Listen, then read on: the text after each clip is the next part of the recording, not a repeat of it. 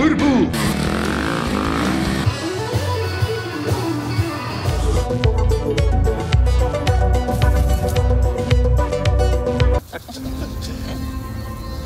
Ai! Lia!